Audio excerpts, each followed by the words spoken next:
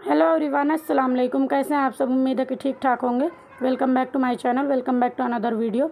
आज हम बनाने जा रहे हैं इजिप्टियन डिश, जो कि बहुत ही यम्मी बनने वाली है बहुत ही डिलीशियस। तो चलिए इंग्रेडिएंट्स चेक कर लेते हैं।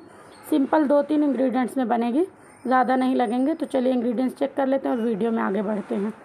ये मैंने दो पाव ले लिए बंद पाव जो कि आते हैं। मैंने जेके के लिए आप कोई सा भी ले सकते हैं। इसको हमने कट कर लेना है। निकाल लेंगे हम इसको निकालने के बाद मैं इसमें एक पेस्ट रेडी कर रही हूँ, वो लगाऊँगी। अगर आपके पास है तो लगाइए, नहीं तो बिल्कुल ऑप्शनल मत लगाइए, वैसे भी बन जाएगी। ये मैंने तीन चम्मच ले लिया है मिल्क पाउडर, जो सूखा वाला आता है। अब इसमें दो से तीन टेबल स्पून हम डालेंगे दूध।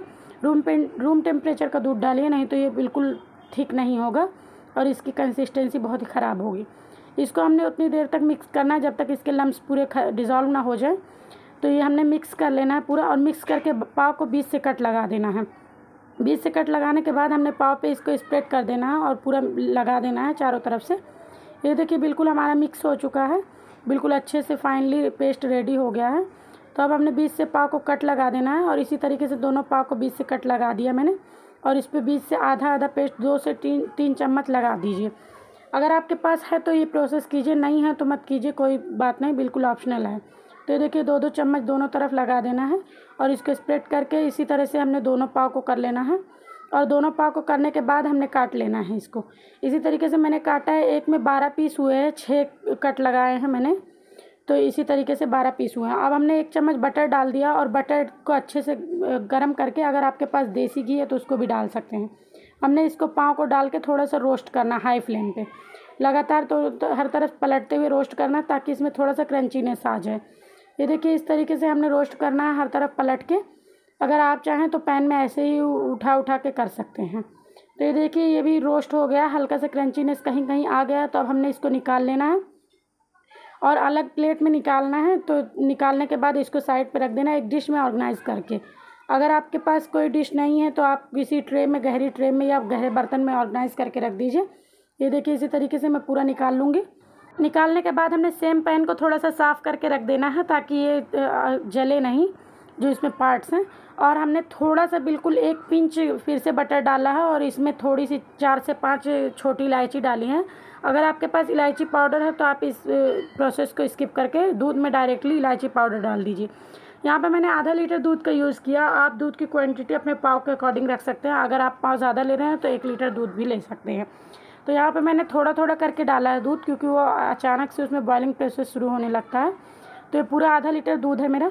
अब हमने इसको डाल देना है और चला देना है और गैस को हाई कर देना है। कि मैंने दूध डालते टाइम गैस को स्लो किया था, क्योंकि हाथ में भाप लगने का डर रहता है थोड़ा तो इसकी वजह से स्लो कर दिया था। अब हम इसमें डाल देंगे शुगर यहाँ पे मैं छः टेबल स्पून शुगर डाल रही हूँ। अगर आप चाहें तो मीठा अपने अकॉर्डिंग रख सकते हैं थोड़ा सा ज़्यादा, लेकिन छः टेबल स्पून बिल्कुल परफेक्ट था। तो अब हमने शुगर के गलने का वेट करना है। शुगर जब पूरी मेल्ट हो जाएगी तो हमने इसमें नेक्स्ट प्रोसेस शुरू करना है। इसको हाई फ्लेम पे ऐसे ही थोड़ी देर देर पे चलाते रहना और हाई फ्लेम पे ही रख देना है, ताकि ये शुगर जल्दी से मेल्ट हो जाए। ये देखिए, इस तरीके से हमने थोड़ी थोड़ी देर पे चलाते रहना है इसको। शुगर हमारी फिफ्टी परसेंट मेल्ट हो गई है तो अब हमने नेक्स्ट प्रोसेस शुरू कर देना है। ये देखिए, इस तरीके से थोड़ी थोड़ी देर पे चलाते रहेंगे, तब भी कोई दिक्कत नहीं होगी। जब ज़्यादा रहती है, तभी चिपकने का डर रहता है। तो हमने अब ले लेना है दो चम्मच कॉर्नफ्लोर। अगर आपके पास कॉर्नफ्लोर नहीं है तो आप कस्टर्ड पाउडर का भी यूज़ कर सकते हैं, वैसे इजिप्ट वाले आप पे केस नहीं करेंगे। तो ये कॉर्नफ्लोर, कस्टर्ड पाउडर में कॉर्नफ्लोर भी रहता है अच्छी खासी क्वांटिटी में। तो देखिए मैं कॉर्नफ्लोर ले ले रही हूँ यहाँ पे और उसमें ले, डाल देंगे दो दो से तीन टेबल स्पून पानी ठंडा पानी डालना है बिल्कुल नॉर्मल, नहीं तो ये बिल्कुल लम्स बन जाएँगे। दो से तीन टेबल स्पून ले लेना है इसमें, मैंने दो टेबल स्पून भर के लिया है। और इसमें डाल दिया मैंने दो से तीन चम्मच पानी। और इसको इतनी देर तक घोलना है कि इसमें जो लम्स है पूरे डिज़ोल्व हो जाए बिल्कुल अच्छे से और बहुत ही अच्छा सा एक घोल रेडी हो जाए। और इसको लगातार चलाते हुए घोल रेडी कर लेना हमने, ताकि ये बिल्कुल फाइनली इसमें जो लम्स है वो गुठलियाँ वो ख़त्म हो जाए, ताकि ये गर्म दूध में जाने के बाद इसका रिएक्शन बहुत ही ख़राब हो जाता है। तो ये देखिए पूरा हमने घोल लिया अच्छे से। अब हम इसको ऐसे ही डालते रहेंगे थोड़ा थोड़ा डालते रहेंगे और लगातार एक हाथ से चलाते रहेंगे दूध में। तो ये देखिए मैं मैं डाल रही हूँ और चलाते रहूँगी। एक हाथ से डालेंगे और एक हाथ से चलाते रहेंगे। रुकना नहीं है, नहीं तो ये बिल्कुल गुठलियों के जैसा हो जाएगा पूरा। तो अब मैं डाल रही हूँ यहाँ पे इसको। डालने के बाद हमने इसको लगातार चलाना है और रुकना नहीं और थोड़ा थोड़ा दो से तीन बार में करके डालना है ताकि इसमें लम्स ना पड़े। तो हमें चलाने में प्रॉब्लम नहीं होगी। ये देखिए इस तरीके से। लगातार चलाते हुए हमने इसको बॉयल आने तक पकाना है। अगर आपको ब्रेड और डेरी मिल्क का डिज़र्ट चाहिए तो मैं आई बटन में दे दूँगी रेसिपी, वो भी जाकर चेकआउट कीजिएगा, वो भी बहुत ही यमी बनी थी। और ग्रीन चिकन की रेसिपी जो कि बहुत ही डिलीशियस बनी थी एंड स्क्रीन में देख लीजिएगा। ये देखिए, अब बॉयल आने लगा, अब हमने इसमें डाल देना थोड़े से ड्राई फ्रूट ड्राई फ्रूट में मैंने लिए थोड़ी सी किशमिश, दस से बारह दाने और थोड़े से काजू, बादाम और दस से आठ लिए मैंने पिस्ता। आप ड्राई फ्रूट की क्वांटिटी और कैटेगरी अपने अकॉर्डिंग रख सकते हैं। आप जो ड्राई फ्रूट दिल करे वो डाल दें, बस गरी मत डालिएगा, क्योंकि उससे बहुत ही ज़्यादा मुँह में फंसती है। तो अब मैं यहाँ पे डाल दूँगी किशमिश।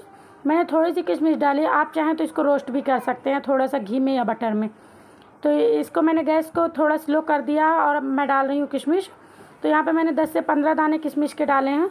और साथ ही में डाल देंगे थोड़ा सा ड्राई फ्रूट में मैंने काजू बादाम पिस्ता बारीक कट कर लिया। इसमें से आधा मैं डालूँगी, आधा गार्निशिंग के लिए बचा लूँगी ताकि वो अच्छा लगे और भी हमारा डिज़र्ट। अब हमने इसको मिक्स कर देना और मिक्स करके इसी तरीके से दो से तीन मिनट स्लो पका, स्लो करके पकाना, दो मिनट और फिर हाई फ्लेम कर देना है इसकी। दो से तीन मिनट हो गए अब मैं यहाँ पे गैस को ऑफ़ कर दूँगी। ये देखिए, इस तरीके से और लगातार इसको चलाना नहीं तो ये नीचे से जलने लगता है और चिपक भी जाता है। तो अब मैं गैस को ऑफ़ कर दूँगी। अब चलते हैं हम सर्विंग की तरफ़ लेके। ये हमने जो पाव थे, हमने इसको एक डिश में अरेंज कर लिया। अब ऊपर से इसको पोर करना है गरम गरम बिल्कुल ठंडा नहीं होने देना। नहीं तो पाव जो है हमारा बिल्कुल कड़क रहेगा और अच्छा नहीं लगेगा। टेस्ट भी उतना नहीं अच्छा आएगा। तो जब ये एब्जॉर्ब कर लेगा गरम गरम तो बहुत ही अम्मी सा टेस्ट आता है।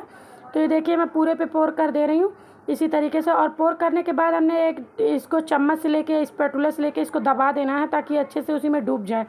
ये देखिए, इस तरीके से मैं डाल दे रही हूँ चारों तरफ़ से। पूरा जो है बैटर हमने पूरा डाल दिया इसमें। अब एक चम्मच से या इस स्पेटुला से मैं इसको दबा दूँगी जो कॉर्नर पे ऊपर हैं उसको, ताकि ये इसमें अच्छे से एब्जॉर्ब हो जाए, नहीं तो साइडों से लगे रहते हैं उसमें।